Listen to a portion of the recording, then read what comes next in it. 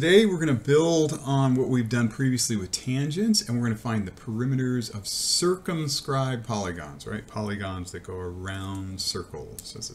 Now, let's just take a quick look at what we're trying to do. So here's its a typical problem. We're trying to find ij, right? ij is this segment right here, basically from where the tip is to right where it touches the uh, circle, right? So this is our question. Now, we know some things. I see there's a length here, there. There's all these different lengths, but I need a little more relationship understanding here. I'm not sure what equals what. So looks like we need ourselves a new theorem. Well, okay, so let's do that. We'll come back after we figure out this theorem. Here's what would be neat. Now, in particular, it sort of looks to me like when you have tangents touching a circle, those look like they might just be the same length, right? Those they might be congruent. Um, but let's let's see if that's really true. So what I think what's going to happen is let's find this point of, of tangency here, right? See where it comes up here, right where it's uh, it comes here, and then there's another one down here where it just touches the circle there. Now, what, what I'm going to do is, to prove that those are congruent, let's, let's actually put in a radius here, right? So let's get a radius going. Here's a radius, and here's a radius. And we're starting to see something that looks really symmetric. Symmetry often is a really powerful tool when we're trying to prove things that are going to be congruent. Uh, so in particular, Notice radii are always going to be congruent, right? Same circle. So I'm just going to put, you know, indicate that those two are congruent. Not quite clear why that's congruent yet, but I have a clever idea. How about if I do this? I'm going to draw a segment from the center to where those tangents intersect. Okay? This is starting to look pretty cool. This looks like I could just fold this guy over and he is the same triangle. In fact, it turns out it is, right? Because what we can do is, think about this. Let's call these, this congruent to itself. Remember way back when we had all those cool triangles, um, all the congruent statements? Um, so if that's true, we also happen to know that this, remember from our previous lesson, we know that the tangent is perpendicular to the radius where they touch. Oh my gosh, this is cool. This is a right triangle.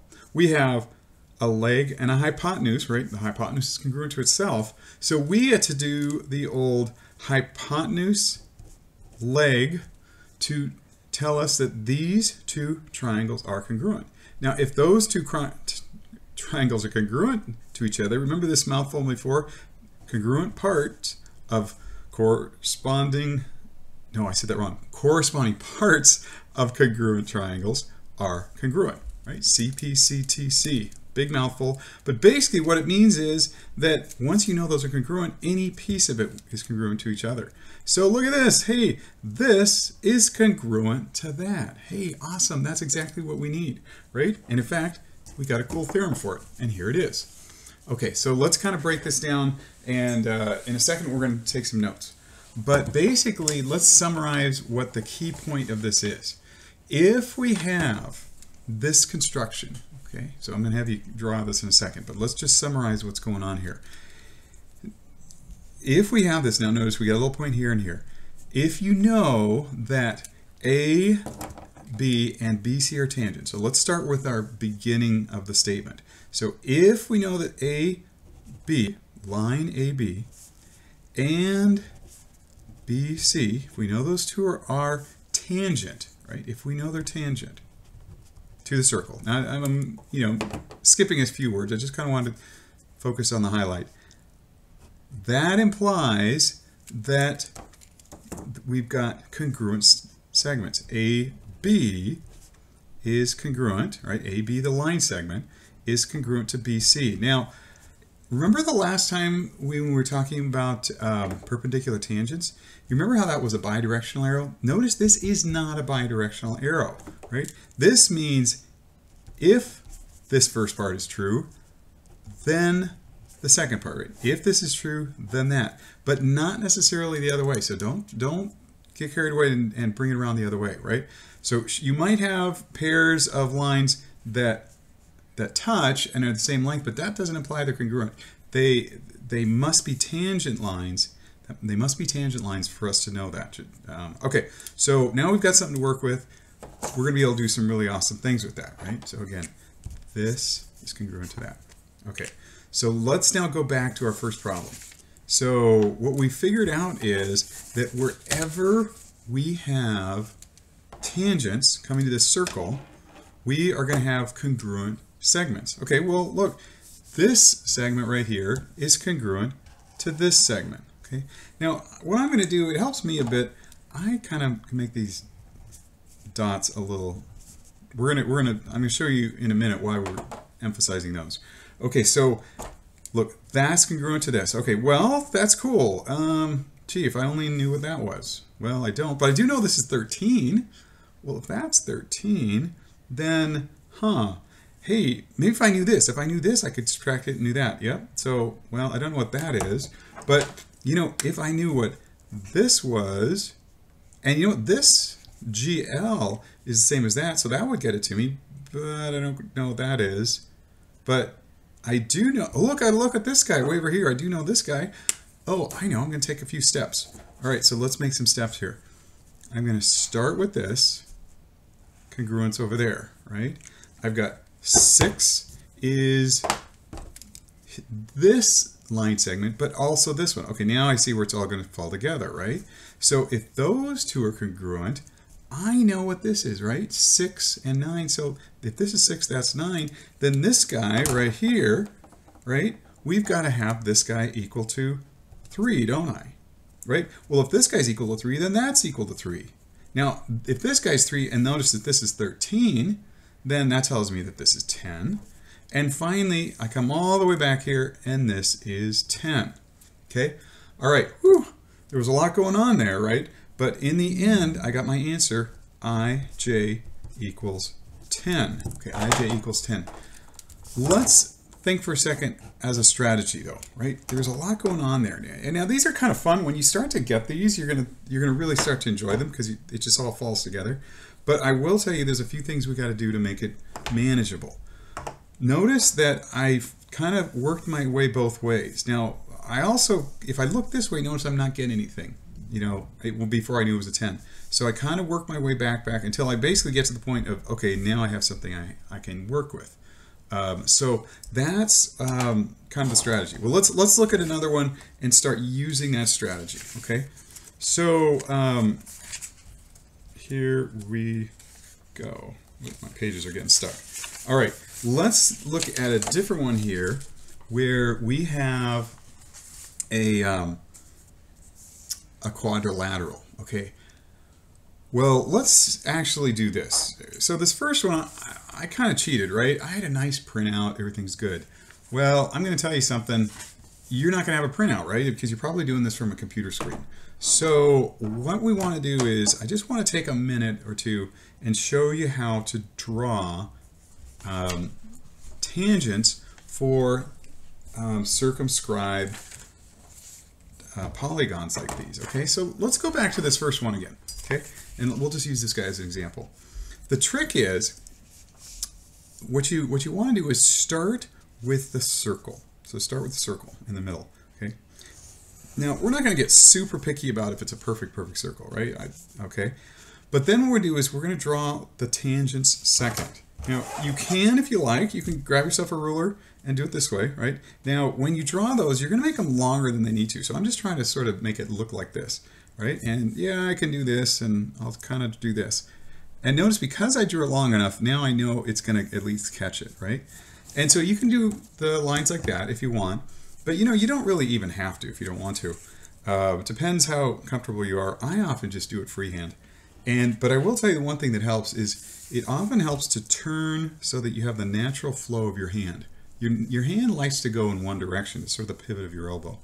So I like to do this, and I just kind of eyeball it, and then I just kind of draw it across like that. Okay. So I've got something that's pretty close to that. See how I did that? Now, if you want, you can erase the extra little pieces. Um, it does help to make dots here, right? And then now you've got somewhere you can write down your work, right? So when we had done this problem, I would have said, oh, 6, 6, 3, 3, 10, 10. Just, now I wouldn't have written everything down, but just a way to keep track of things, okay? Now that's going to be really helpful for this next problem that we're doing. Because notice with this problem, it's a little more complicated. We're starting to get to the point where it's really nice to be have a way to keep track of things. Okay, so again, let me show you what you will probably want to do on your paper because again, you're not going to have a nice printout like I have. So what I would do is if I'm looking at this problem, I'm going to say, well, okay, let me draw myself a circle, right? And you know, something like this. I will tell you, you know, I, I practice my circles every now and then, right? I just get a piece of scratch paper and I just circles, right? Do a whole bunch of circles, one after another, until I start to get better at it. So you probably would benefit by that. But again, doesn't have to be perfect, but enough that you can keep track of things. Now, I'm going to draw some lines here. And again, like I said, it helps to kind of turn the paper so that it's naturally the way your hand wants to go. So I'm doing this one, and then here I'm going to have a line like this. Now notice I'm just, just wanted to just sort of touch it. Doesn't have to be perfect, just enough. All I want is some way to keep track of the numbers, somewhere to write it down. All right, this, and then finally, I'm going to do this right? Kind of up to you whether you get rid of the extra pieces. I think I'll just kind of leave them to show you what happens if you don't bother. Okay, so now I've got somewhere at least to write things down. Put some dots to make it clear where the line's at. Okay, now let's come back and analyze this problem. Okay, I'm trying to find FG. Now FG is this one right here. Okay, this is what I want, right? This is the question mark. That's what I don't know. Okay, well, let's see. I could do this a couple ways. Um, now, trying to go this way, there's really no information there, right? So I can't go counterclockwise. I'm going to have to go from the other direction. So let me work my way back. If I knew this, I'd be really happy, right? Well, I don't, but I do know this, this length of 25, if only I knew this little distance here, right? Well, I don't, well, I can get it from here, right? So this will give me this, which will give me that, right?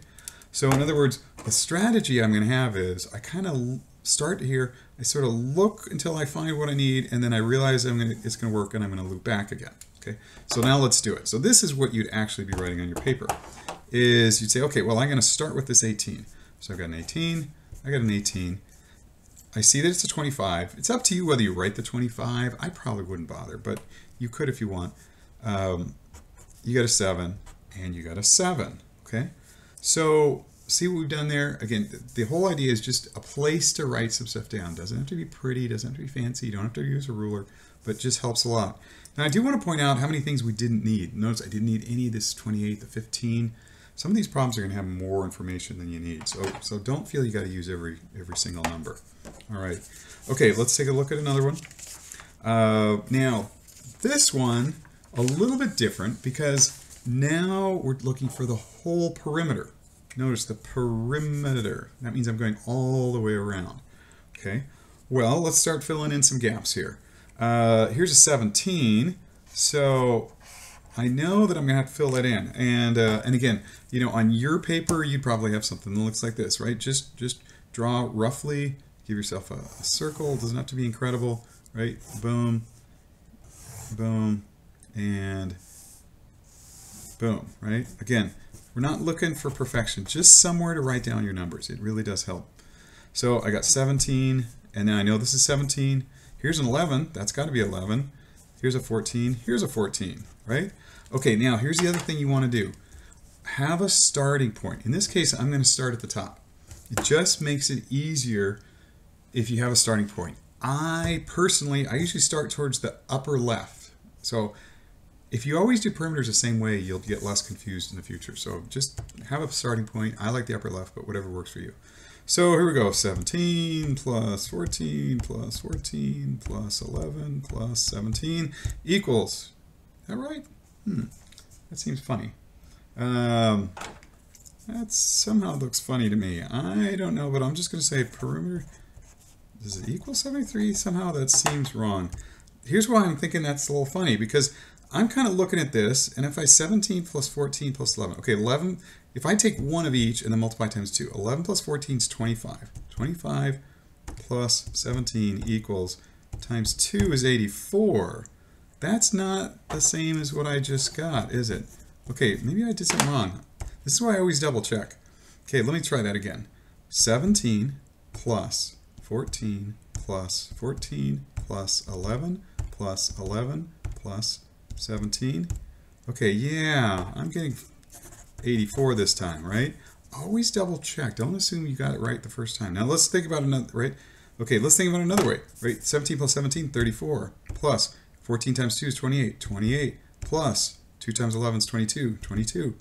Okay, I got 84 three different ways. I'm feeling much more confident now but because I did it several ways. Always try multiple ways. Okay, last one. You're probably going to get some that are a little trickier where you have to actually do some algebra. Again, just like we were doing before, we're going to figure out how we're going to work backwards. Okay, uh, just so we don't take too much time, I'm going to go ahead and use the figure here. But remember, you're going to want to sketch it and on your page. And use lots of scratch paper and make it big. If you do little stuff, it's really hard on these because you have to extend them. Okay, so let's think direction. If I went this way, there's just not enough information. See, I need a long one. So I'm probably going to have to come from this way, right? So let's see how far back I have to go, right? If this is c minus 4, right, if I knew this, I'd know that. Which means if I knew that, I could get that, but I don't know this.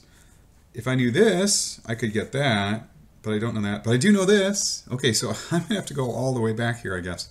All right, um, and again, you can either do that, or sometimes I just start filling in things until something starts to make sense, right? So either way. So I've got 8 and 8. Now 18 minus 8 gives me a 10 here. And then I got a 10 here. And then, let's see, 13 minus 10 gives me a 3. Oh, finally I can give myself an equation here, right? I have c minus 4 equals 3. Okay, add a 4, add a 4, c equals 7, right? And wait, am I trying to find the length or c? Let's see, it wants c. Okay, good. So my answer here is c equals 7, just like that. Okay, and like I said, you can either try and plan it out or just start writing stuff down. Sometimes just write stuff down until something makes sense. That works too. All right, last thought, I just want to leave you with some vocabulary to make sure you got this straight. Um, the difference between circumscribed and inscribed. Circumscribed and inscribed. Okay, now we're right now what we're talking about is circumscribed, and this was triangles, but polygons in general, right? Circumscribed is around the outside. So think of circumference as being around a circle, so it's around the outside. Inscribed means inside, right? Notice the circle is inscribed, the triangle is circumscribed. Here, on the other hand, the circle is circumscribed because it's on the outside. The triangle is inscribed. I mean, the easy one to remember is inscribed, right? In means in, right? So just remember which is which. Circumscribed means around, inscribed means in. Well, that's enough for today, and we'll see you next time.